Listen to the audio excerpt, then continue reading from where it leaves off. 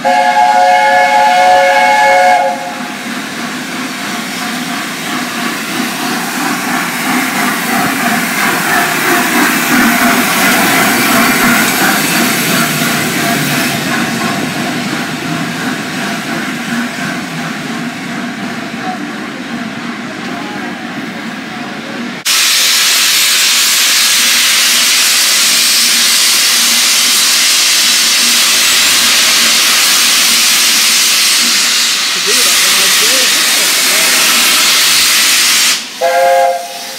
to do it up on my stairs.